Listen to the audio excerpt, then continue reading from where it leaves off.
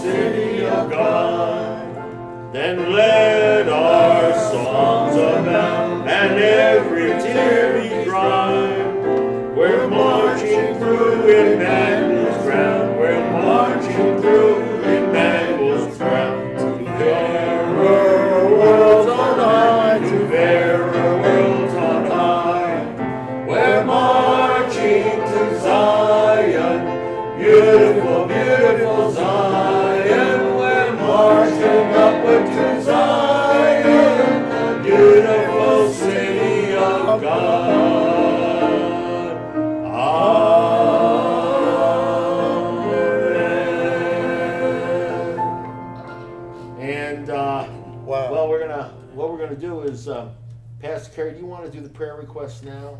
Because I know you're doing the prayer requests. You want to do that? Yes, let's do that now. Okay. Go ahead. I want to mention, uh, first of all, that uh, I think it's wonderful, the wonderful group that came yesterday in honor of the Moore boy who passed away. I didn't realize he was 29 years old. Um, that that kind of shook me up. I thought he was younger than that. But uh, uh, it was comfortably filled in the sanctuary, and uh, on a Saturday, on a Mother's Day weekend, I thought that was quite a tribute. I'll guarantee if I passed away uh, last week, there wouldn't be that many here. I hope I'd have enough for pallbearers, but anyway. You'd have, a- you'd have a few. We, we'd, uh, we'll, we'd go out on the street, we get. Yeah, some. but I'm not complaining because, you know, to be absent from the body is present with the Lord. Right. I'm gonna be better off than anybody down here.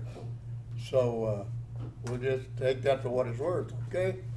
But we do wanna remember that family tonight. Uh, You know, the Moores have been such a pillar in this church, uh, the whole family, the, the daddy and the mother. Some of the people I first met when I came and, and I'll never forget the many times that, uh, Mr. Moore, senior, came by to see me when I was in the hospital. Show up on Sunday morning.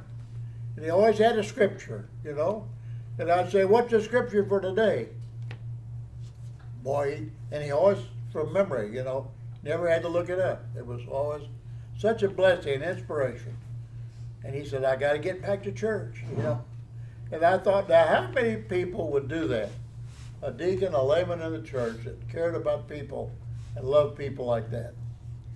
And I do want us to remember, uh,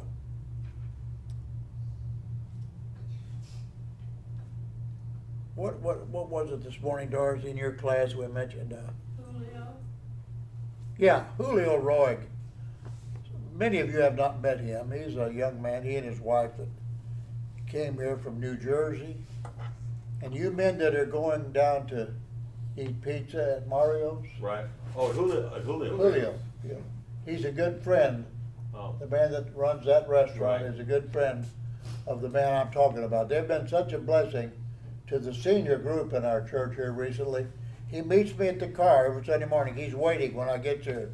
And he pushes me in the wheelchair, comes in here, gives everybody a bottle of water, you know.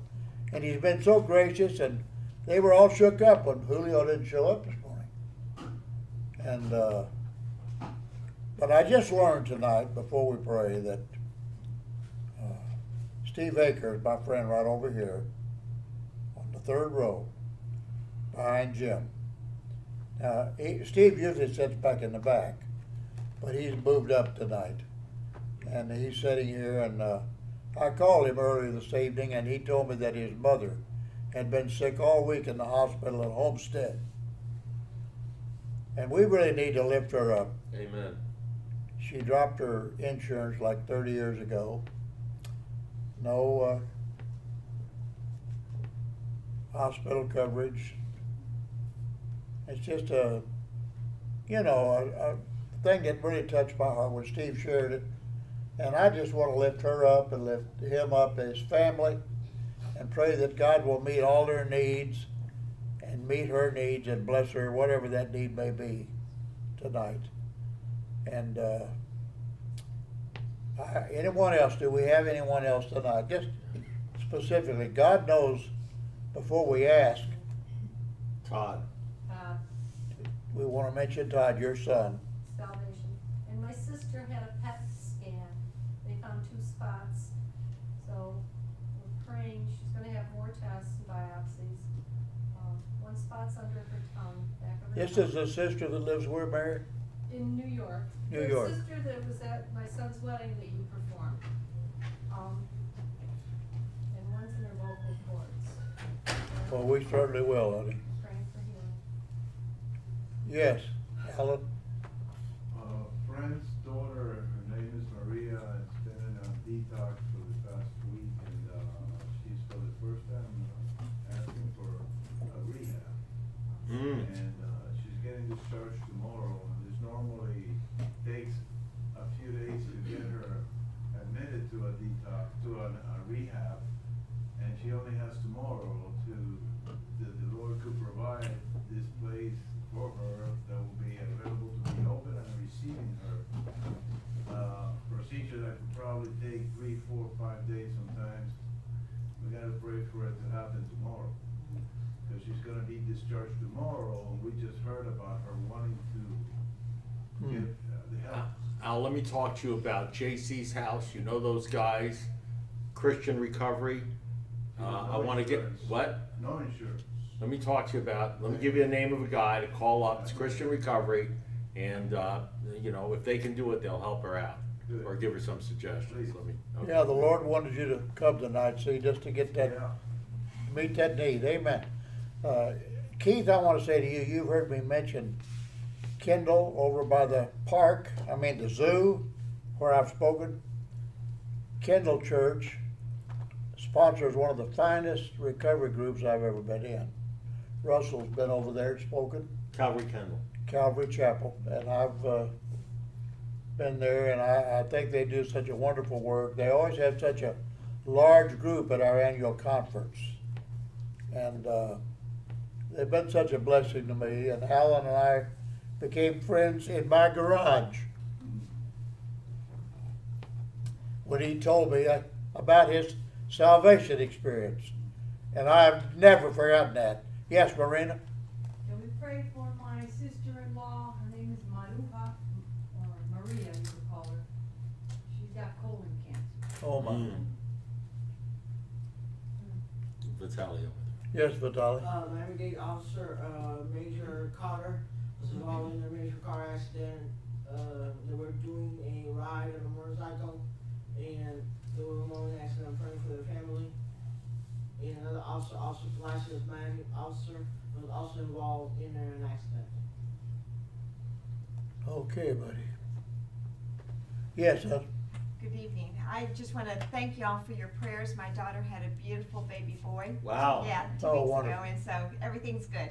that's great. Thank you, yeah. there. Congratulations on the amen. new grandchild, Yes. sir. grandma, I'm grandma. That's great. grandpa, Yeah. okay. Thank you for your prayers. That's one of the most faithful ladies right there. She's here every Sunday night. And, uh, I'm gonna pray that you, she listens to you when you tell her how to properly raise that child. Because you know how they are, you know? Now we just gotta get her out of the way so you can take over. There you Amen. Okay. okay. Uh, Russell, the Lord heard all these needs tonight. Anyone else? I, I, unspoken for me and um, travel mercies for my family. For your family. Okay, Mo, it's sure good to have you here tonight. I got- You, you lead us in prayer. no, will you? I'm, I'm, uh, I've got a prayer request. Oh, okay. I'm, I'm, uh, as a matter of fact, I won't be here next Sunday because I am traveling to New Orleans and then I'm, I'm speaking, I'm doing a, an event, uh, in Monroe, Louisiana. Monroe, yeah. Never been there Monroe, that's before, what- never been there before, and I think it's Duck Dynasty. Those guys will show up. They're- they're- I'm trying to grow the beard long and the hair long for them, you know what I mean? So you'll fit in the know, crowd, right? You know, and stuff some crawfish in my mouth or something, whatever they're doing over there. So, uh, so I just wanna, uh, prayers that, uh, You bet. the Lord gives me the proper message to say to them and they're receiving. And let me just say, you know, we're, we're not on right now, so I I wanna say how grateful I am that we have the freedom and the love for each other to share this very special time. You know, I've said it to many people, this is the only worship service that a lot of our attenders attend. The only opportunity they have to come and worship, to hear a sermon, sing the old hymns. And I just thank God for it. Now, there are a lot of people missing, I know tonight. I got on the phone trying to remind them because I know it's Mother's Day. And while I was calling, somebody texted me and said, Are you having service tonight? I have no idea who it was. It may be in this room. But the blessing to me was that to somebody, I tell you, when we don't have service, we, we miss an opportunity. And I hope if that person's here tonight, I'm certainly grateful that you're a part of our service. Now let's pray. Father, we come to you with earnest hearts tonight as we pray for our friends who've made these requests. Lord, you've heard each one. We don't need to call their name. You know who they are. You've already heard. And we know, Lord, that you're already interceding at the right hand of the Father. We know that you ever live to make intercession for your people. And we praise you for that promise and that provision. And Lord, we love you for the power of your presence that comforts us and strengthens us in our hours of need. And Lord, I pray, especially pray for Steve and his mother.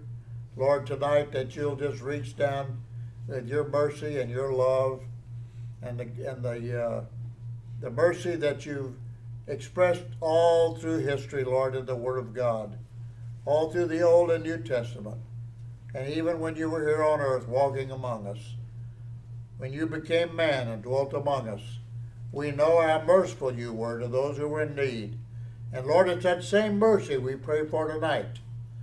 We pray, Lord, that you'll look down with your eternal love and magnify the healing work in the lives of these people we've mentioned. We thank you for this testimony about this new baby and the mother, that they're all well and good. We pray for this uh, dear girl that uh, Alan mentioned a moment ago, Lord. Whatever the need is there, we know you can more than supply every need. And Lord, we, we thank you for what Paul said to the Philippians when he gave his own testimony about how God had met his needs. Then he said, My God shall supply all of your needs according to his riches in glory. And Lord, that's what we pray for tonight. We need those answers to prayer for unco- unspoken request. And all these others who've been mentioned. The one that, that, uh, was mentioned in the motorcycle accident. Father, we, we just lift them all up to you tonight and know that you've heard us, that you're here to help us and to heal. And we praise you and thank you. In Jesus' precious name. Amen. Amen, amen. Thank you, Pastor. And uh, next hymn is 310, 310. Out of my bondage, sorrow and night. Yes.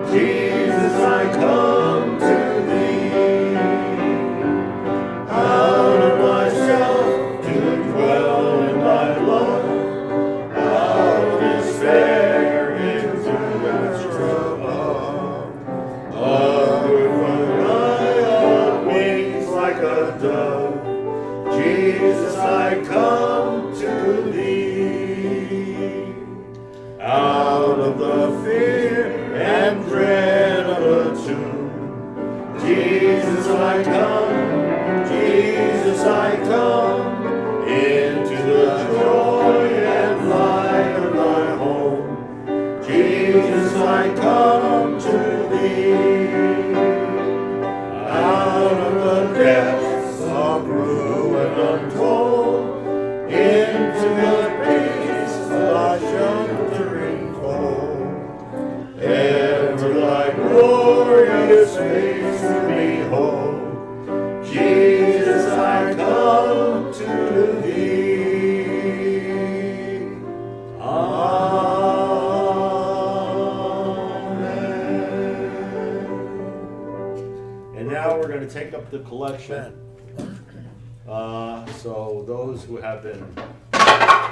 Chosen, you all come up. You know who you are, or at least Doris will tell you who you are right now. Okay, here we come. Okay. Lord, we, uh, thank you so much once again for letting us meet here in this church. Prayers upon this church and upon the offerings that are being given today, and we ask that they be, they, they be magnified. Uh, It doesn't matter how much is given, you know, what, what we wanna make sure is that every dollar, every dime, every quarter, whatever the, the uh, offering is, that it be somehow magnified so it reaches thousands and millions of people and it's spent uh, to carry uh, gospel message and the, mes- the message of your finished work on the cross. We ask you that this be done, and we thank you once again for allowing us to be here and giving us the privilege of contributing. In Jesus' name, amen. amen.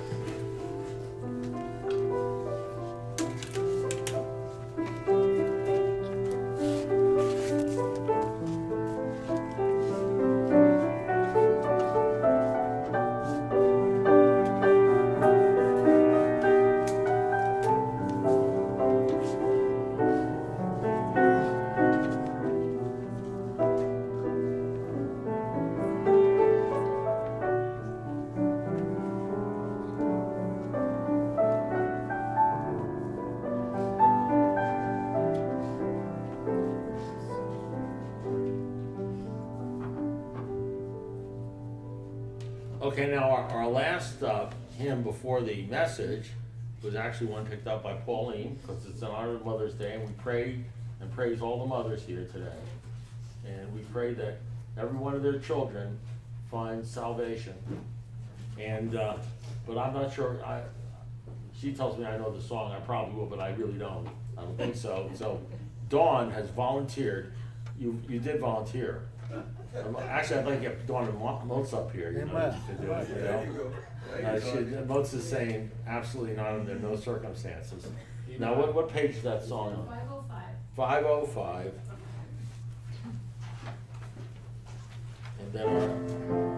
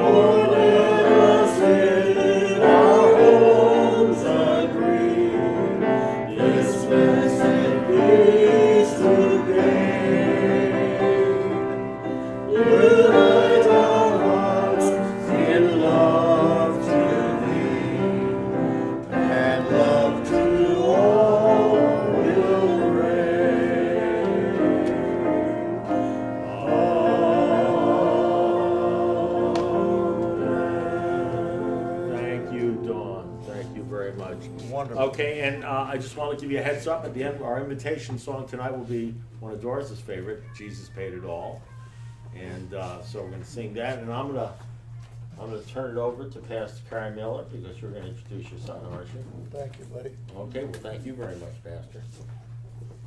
You know, it's my privilege tonight, for those who haven't met my son and daughter-in-law.